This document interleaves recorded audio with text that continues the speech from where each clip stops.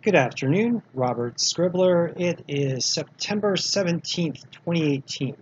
Thank you for joining me for another climate change and clean energy video blog.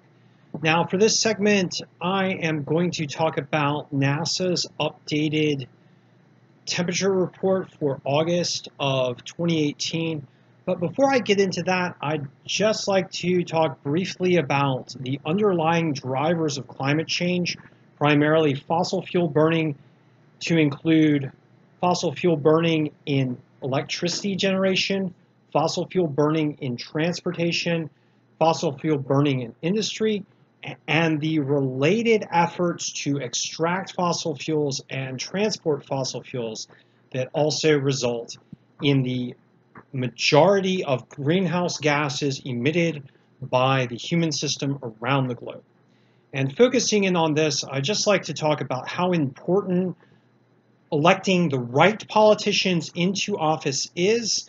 and how detrimental and damaging it is to elect the wrong politicians. Now, there is a false meme out there where you have people saying that, oh, it doesn't matter, all politicians are equally bad. That's absolutely not true. Obama was 100% better than Trump when it comes to climate change Climate uh, Trump is driving us completely in reverse. And though Obama did not do everything that he could to address climate change, he did numerous positive things, such as promote clean power, promote a rapid transition of the transportation sector, promote initiatives like the Sunshot Initiative, which reduced the cost of solar energy, and scores of other initiatives that I could spend multiple blogs talking about here.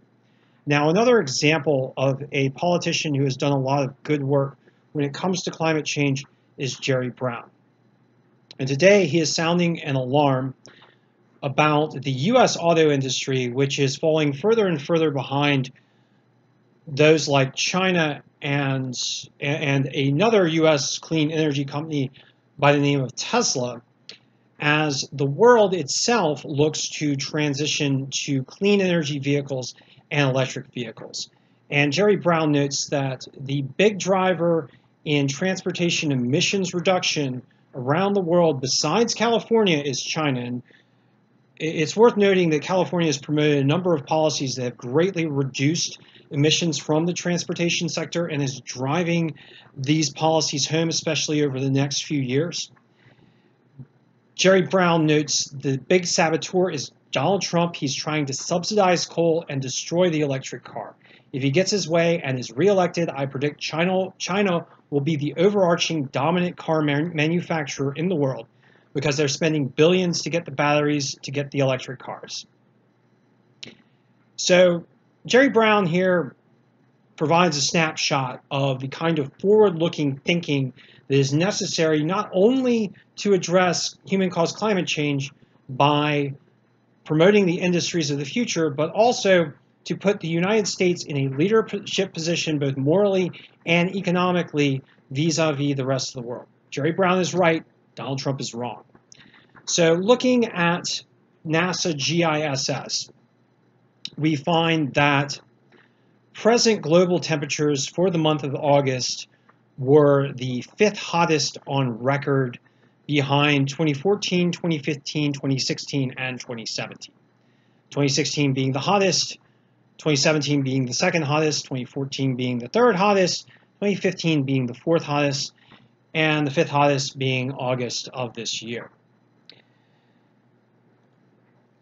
Overall, looking at the geospatial representation of global temperature anomalies, we find that most regions of the world during August were, were warmer than normal, with the exception being a section of the Beaufort Sea and the adjacent regions of Canada, a prevailing cool pool south of Greenland as a result of Greenland melt, um, Greenland melt being driven by human-caused global warming and climate change, but a cool pool being a countervailing feature that is unfortunately likely to remain in place and continue to disrupt North Atlantic weather patterns, with a few other noted cooler areas, one in South America and one off the coast of eastern Antarctica. It's worth noting that the region of the Earth that was hottest or warmest compared to past temperatures, because these are anomaly, anomaly measures, was Antarctica with temperatures ranging as high as 5 degrees Celsius above normal. Now, this is worth noting that this is polar winter, so these temperatures in Antarctica were still very cold, but showing substantial warming above typical temperatures for polar winter in Antarctica, and also following the established trend of polar amplification, which, which is a result of, of an accumulation of greenhouse gases in the Earth's atmosphere that greatly affect temperatures at the poles during wintertime, providing a higher rate of warming in those regions. It's also worth noting that Europe has continued to be much warmer than normal through August, as has a section of north, north central Siberia, with much of the middle latitude zone in the northern hemisphere warmer to much warmer than normal, continuing a trend of, of record breaking temperatures that occurred primarily in July but continued throughout the summer of 2018 for the nor northern hemisphere. Looking at zonal anomalies, we find that no regions of the world were below normal in the latitudinal zones, with the 80 to 90 degree south latitudinal zone showing 4.1 degrees Celsius above average temperatures,